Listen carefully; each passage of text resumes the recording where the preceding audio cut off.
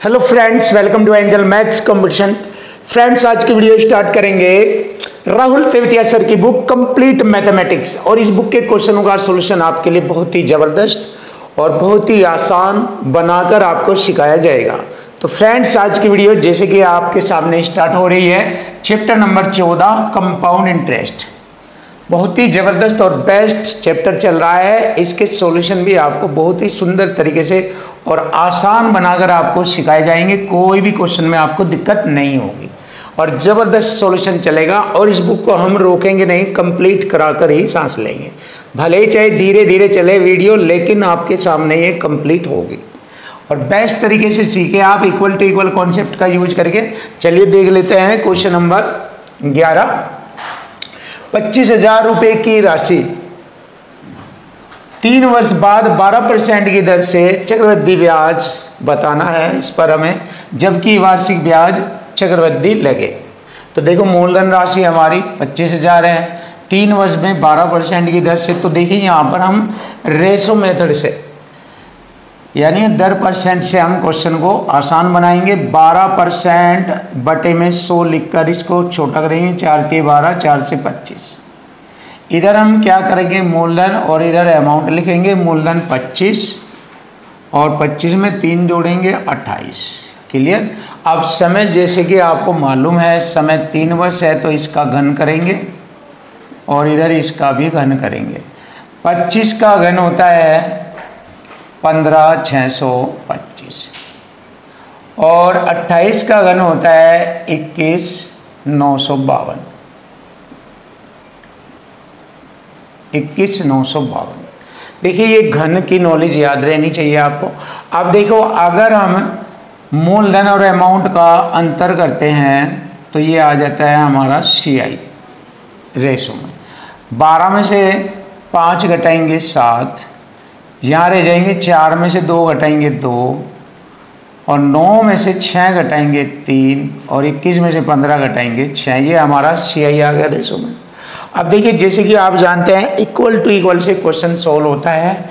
इधर हमारा मूलधन रेशो में दिया है पंद्रह हज़ार छः सौ पच्चीस, और यही वैल्यू दी गई है हमें यहाँ पर मूलधन के रूप में पच्चीस हज़ार।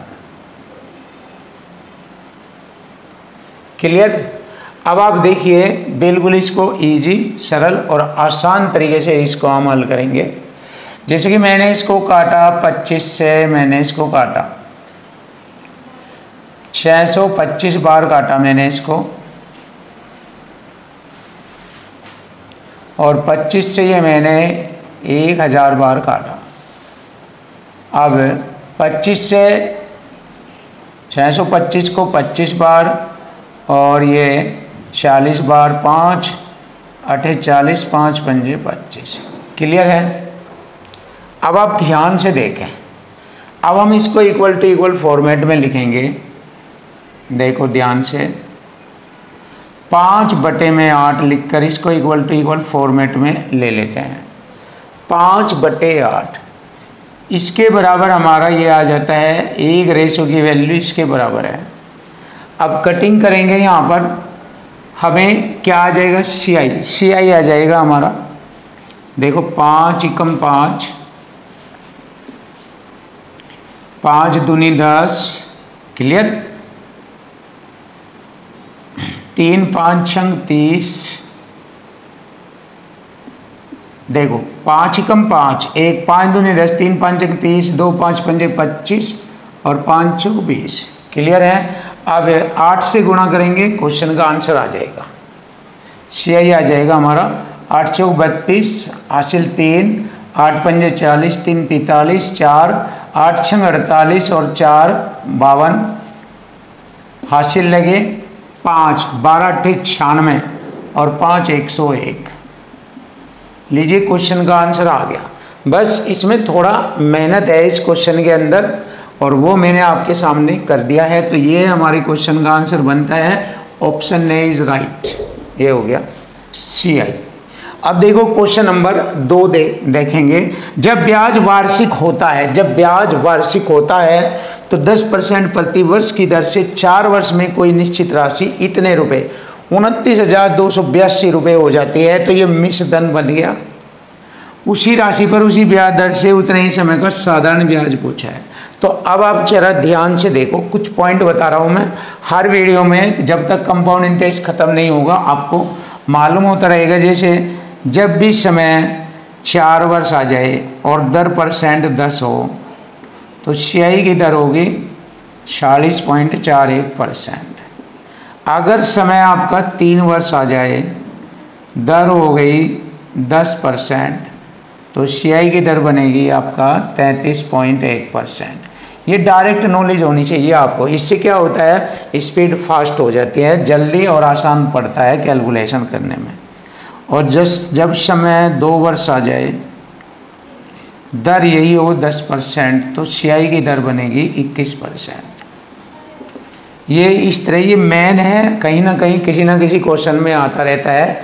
इसलिए मैंने ये आपको डायरेक्ट बताया है, इसको आप याद रखना चाहिए।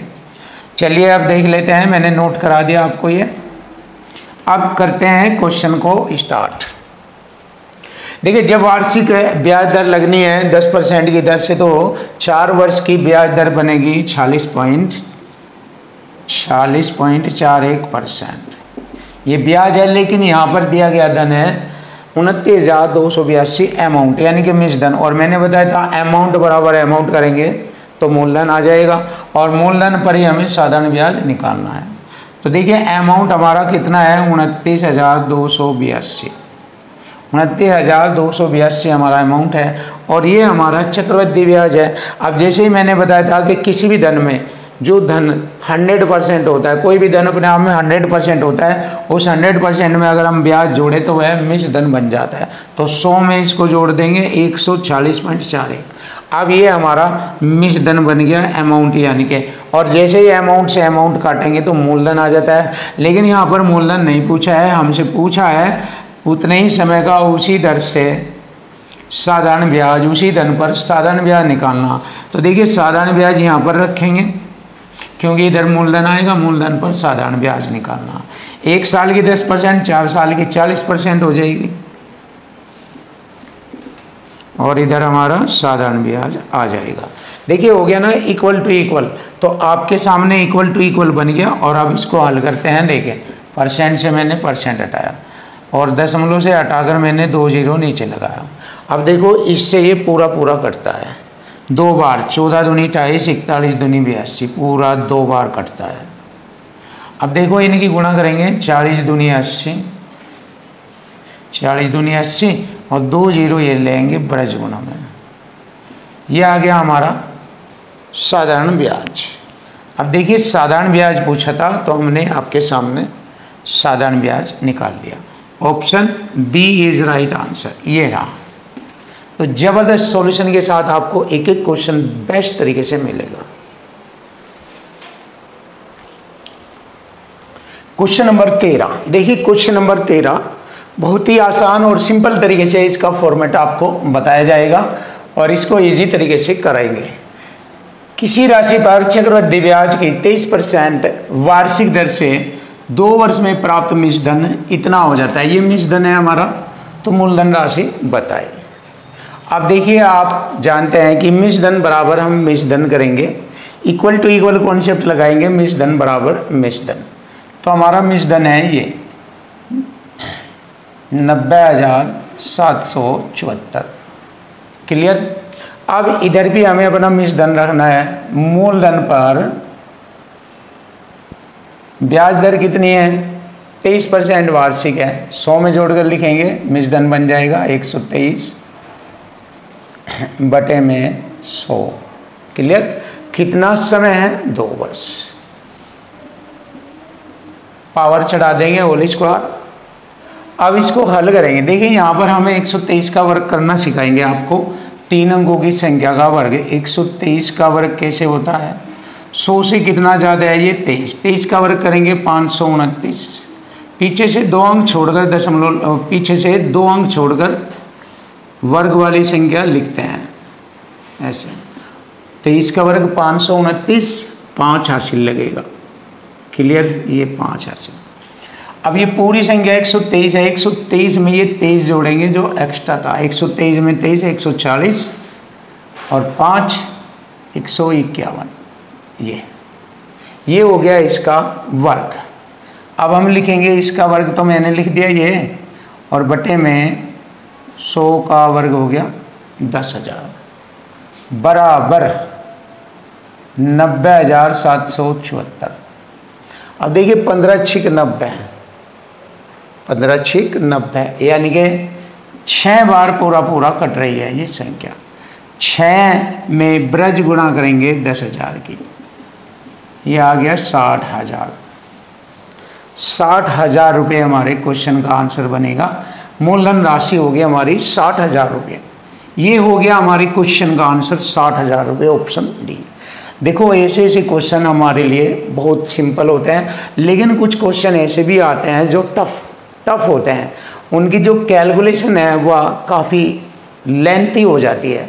तो ऐसे क्वेश्चन अगर आप चाहे, अगर कोई एक आध आ जाए तो छोड़ने में फ़ायदा है, क्योंकि उस पर आपका ज़्यादा टाइम लगेगा। कंपटीशन में टाइम को देखना है, उसके अकॉर्डिंग अन्य क्वेश्चनों से आप अपना टाइम रिकवर कर सकते हैं, वरना लेंथी क्वेश्चन अगर आ जाता है तो उसको छोड़ देना आपके लिए बेस्ट है।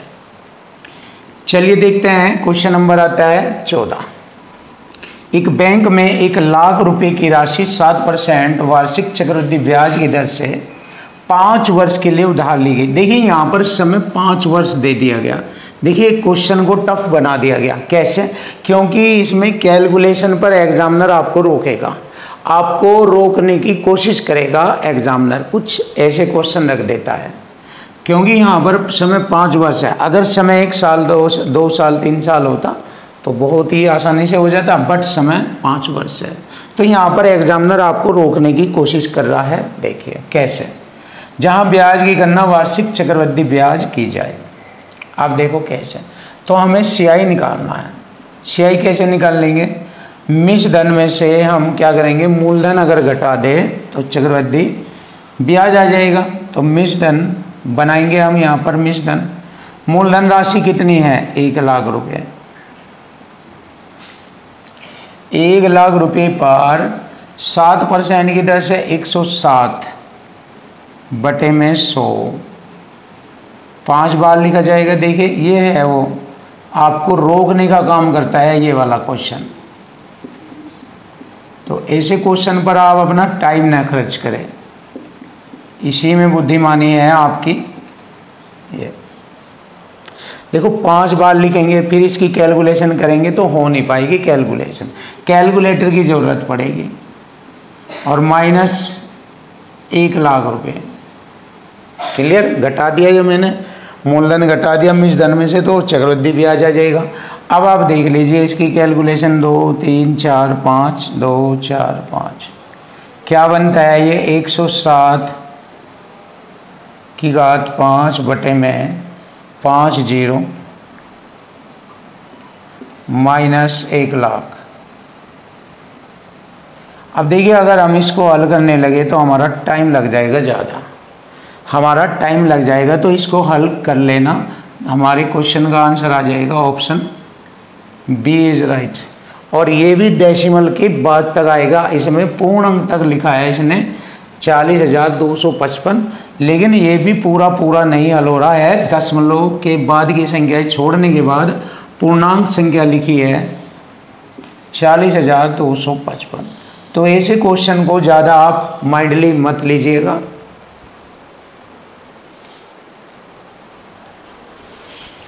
क्वेश्चन नंबर पंद्रह। देखिए क्वेश्चन नंबर पंद्रह। सॉल्यूशन आसान किया जाएगा, बिल्कुल इजी कोई राशि 10 परसेंट, वार्षिक दर से चार वर्षों में उनतीस हज़ार दो सौ बयासी हो जाती है। ये मिस धन है तो मिस धन बराबर मिस धन करेंगे। चलिए कर लेते हैं, पहले मिस धन बराबर मिस धन, उनतीस हज़ार दो सौ बयासी। क्लियर? और हमारा 10 परसेंट की दर से चार वर्ष की चक्रवृद्धि ब्याज बनेगी। छियालीस पॉइंट चार एक परसेंट, ये चक्रवृद्धि ब्याज और जब इसको मिस धन में बनाएँगे तो एक सौ चालीस पॉइंट चार एक परसेंट बन जाएगा ये। तो ये हो गया हमारा मिस धन बराबर मिश्र धन। आगे बढ़ेंगे। जैसे ही हम इससे इसको काटेंगे इधर मूलधन राशि आएगी। अब कह रहा है कि उसी राशि को दुगुना करने पर, जो मूलधन राशि आएगी, इसे दुगुना करने पर। समान ब्याज दर से, समान ब्याज दर 10 परसेंट की दर से, पाँच साल, दस पंजे पचास परसेंट का साधारण ब्याज कितना होगा? देखिए इक्वल टू इक्वल फॉर्मेट में बन गया। अब इसको हम हल करेंगे, देखिए। दो अंक हटाकर दशमलव के दो ज़ीरो नीचे लगी। परसेंट से मैंने परसेंट हटाया। अब देखो, चौदह दूनी अठाईस दुआ बार कट गया, इससे ये पूरा। दो दूनी चार पंजे बीस, ये वाली ज़ीरो और इसके दो ज़ीरो यानी सौ और गुणा करेंगे, ये आ गया हमारा बीस हज़ार। Option B is right answer. ये रहा। बहुत आसान और सिंपल। देख लो। क्लियर है? अब आगे बढ़ते हैं क्वेश्चन नंबर सोलह। सुमित दो वर्ष के लिए दो बैंकों में से प्रत्येक में पचास हज़ार रुपये का निवेश करता है। पहले में पचास, दूसरे में भी पचास। क्लियर है? पहला बैंक 11 परसेंट वार्षिक साधारण ब्याज दर पर देता है। एक साल का 11 परसेंट है, दो साल का ग्यारह दूनी बाईस। क्लियर? और दूसरा बैंक 10 परसेंट वार्षिक चक्रवृद्धि ब्याज चक्रवृद्धि ब्याज पर दो वर्ष में वह कितना ब्याज अर्जित करता है? 10 परसेंट की दर से दो वर्ष का चक्रवृद्धि ब्याज हो जाएगा 21 परसेंट। क्लियर? अब देखो इनका कुल ब्याज पूछ रहा है, प्लस कर लेंगे परसेंट से दो ज़ीरो, परसेंट से दो ज़ीरो, बाईस पंजे एक सौ दस और दो ज़ीरो ये, प्लस दो ज़ीरो ये इक्कीस पंजे एक सौ पाँच। लीजिए इन्हें, जोड़ लीजिए, आंसर आ जाएगा। देखो लास्ट की दो ज़ीरो तो ये लिख दी मैंने। पाँच और ज़ीरो पाँच। दस और दस और ग्यारह, इक्कीस। इक्कीस हज़ार पाँच सौ। इक्कीस हज़ार पाँच सौ हमारे क्वेश्चन का आंसर बनता है ऑप्शन डी। देखिए, क्वेश्चन नंबर सत्रह। बहुत ही ज़बरदस्त और बेस्ट सॉल्यूशन में आपको क्वेश्चन का सॉल्यूशन मिलेगा और इक्वल टू इक्वल फॉर्मेट में मिलेगा। इस कॉन्सेप्ट से ही देखिए, दोनों क्वेश्चनों का सॉल्यूशन ऐसे ही होगा।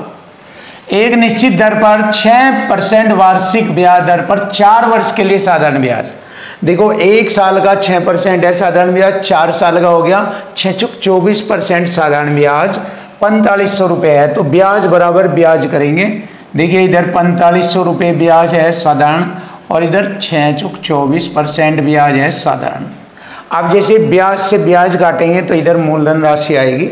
अब उसने कहा है इधर कि जब ब्याज की दर चार परसेंट वार्षिक हो तो समान धनराशि, जो धनराशि होगी उसी पर दो वर्ष का चक्रवृद्धि ब्याज ज्ञात करे। अब इधर लिखेंगे, दो वर्ष का सियाही ब्याज दर हम लिखेंगे। चार परसेंट की दर से बहुत अच्छी टेक्निक मैंने बनाई हुई है आपके सामने। चार का वर्ग सोलह, दो अंक छोड़कर दशमलव परसेंट का चिन्ह और चार दूनी आठ आठ पॉइंट एक छः परसेंट। ये हो गई हमारी चक्रवृद्धि ब्याज की दर जब चार परसेंट हो, समय दो वर्ष।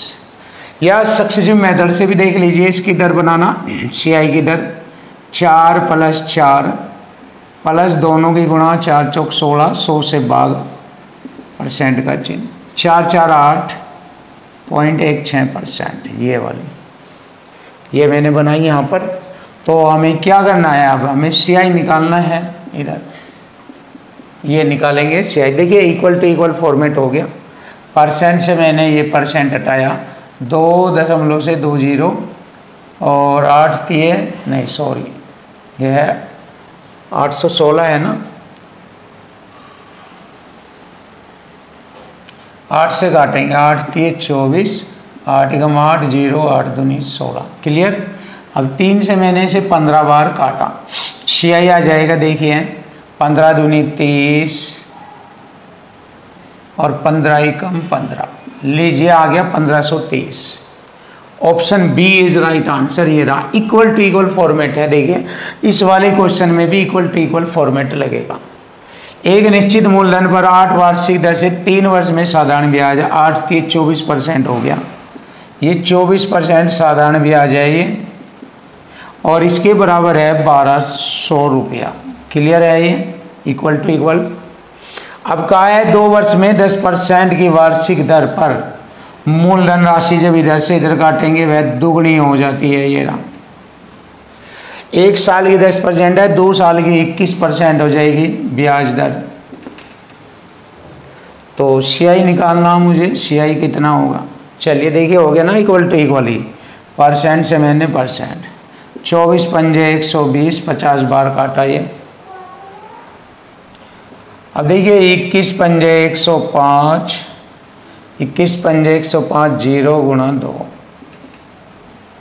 ज़ीरो दो पंजे दस, दो एकम दो। इक्कीस सौ रुपये। देखिए, इक्कीस सौ हमारे क्वेश्चन का आंसर आ गया ऑप्शन बी इज़ राइट